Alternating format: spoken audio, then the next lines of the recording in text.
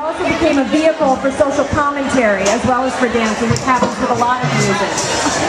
And just like other music, merengue has uh, gone up and down in popularity, but it's recently experienced an explosive re- revival. And actually today there are two primary forms that are found. The slick style dance club variety, and then the more deeply rooted folk style referred to as merengue tradicional or merengue típico. Joaquin Diaz is recognized for his role in revitalizing the traditional form. He began performing when he was seven years old as a street musician in the capital of the Dominican Republic. At 17, he was performing at the Olympic Games and touring with uh, the Folklorique of the Dominican Republic. He now lives in Montreal, uh, and in addition to just keeping his music very much rooted in that merengue from Dominican Republic, he also incorporates some other accordion styles into his music, uh, like Tex-Mex conjunto, French musette, Cajun, and Quebecois. Have to say, I want to share one quote as a writer uh, had noted one time. Diaz adds depth and texture to Dominican folk music and traditional merengue and keeps feet dancing at a breakneck pace. So I want to know, who out there is going to try to keep up tonight? You ready? You going to do it? Excellent. Well, let's go. I want to welcome Joaquin Diaz.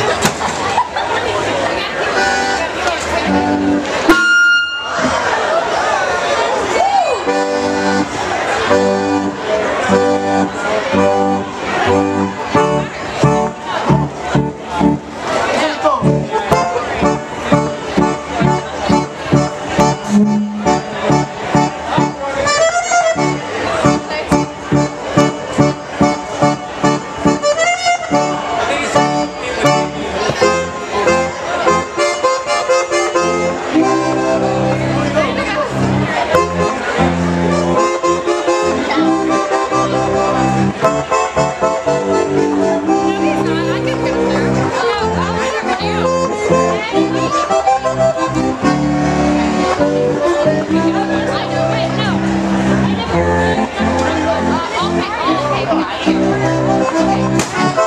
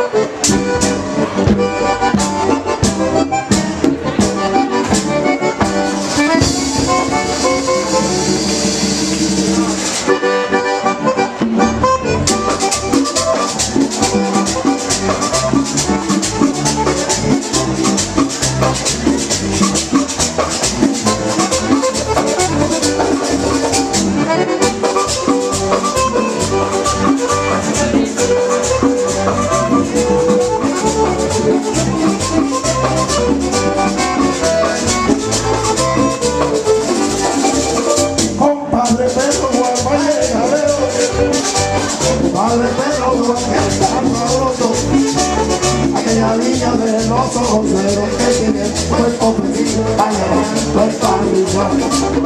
Oh, padre Pedro, no pierdo el tiempo, oh padre Pedro, saca el tsunami.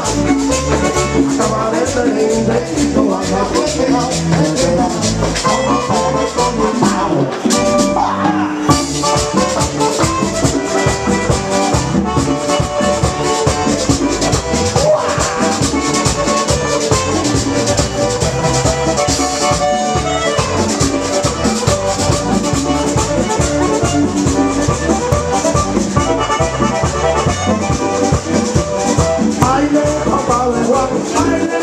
Y aquí para allá, baile, y allá para allá, baile, papá de guapo, baile, baile bonito, baile,